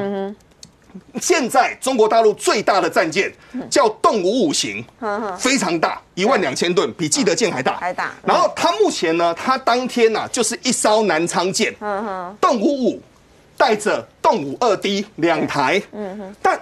各位都晓得哦，船舰很伤油嘛。对我出去没油了，让人家拖回来，多没面子啊！所以他还带了一台九洞三的补给船。这个补给船上面呢有油，有蛋，有食物。好因为战舰上面食物也没办法放太多对，结果一趟冲冲冲冲到了对马海峡。日本人说：“你真的敢来啊？你还真的敢来啊？敢啊你出去耶，就出去耶！就双方呢，你看我，我看你，然后看一看之后，就这样穿过去，然后各自回航，这样子是没有发生武力攻击。可是呢，先说哦，你要出去，目前在整个西太平洋就是层层的捆龙锁。嗯哼，中国大陆的海军。好多的船舰，可是呢，出得去吗？出不去。嗯同样的。中国最近也在修一种新的武力，这个新的武力是什么呢？这个新的武力是新的无人机，哦好大一台啊！好大一台啊！飞上来耶，直接飞到整个日本的一个东海的一个上空哦。结果呢，日军战机紧急升空，所以呢，现在呢，日本哦，日本一直说台独势力、外国势力。之前呢，一直在攻我们的所谓的一个西南方哦，一直在攻我们那个 ADIG 的部分。最近呢，日本已经胆子大到连日本他都敢摸了，中国连日本他都敢摸了。所以目前来看的话，中国他们的军力持续在往上走，还是会成为亚洲各国非常大的隐忧。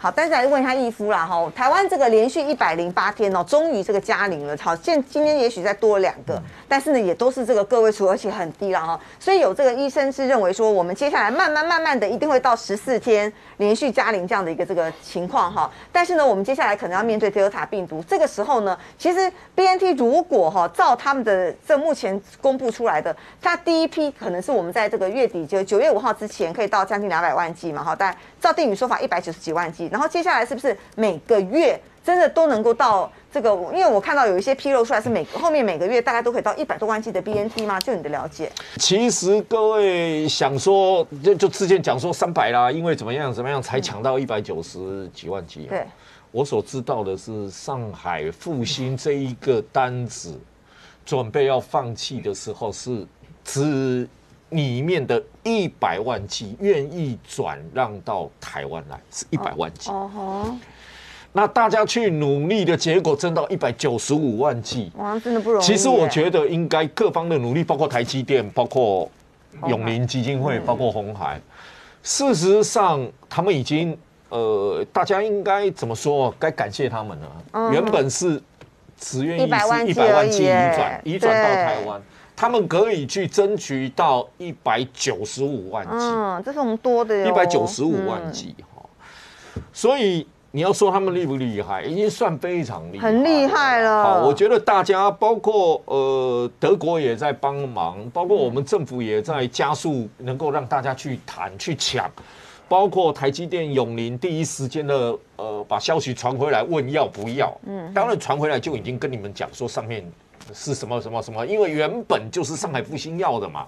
嗯哼，当然，你说九月九月预预定的会不会还会进来？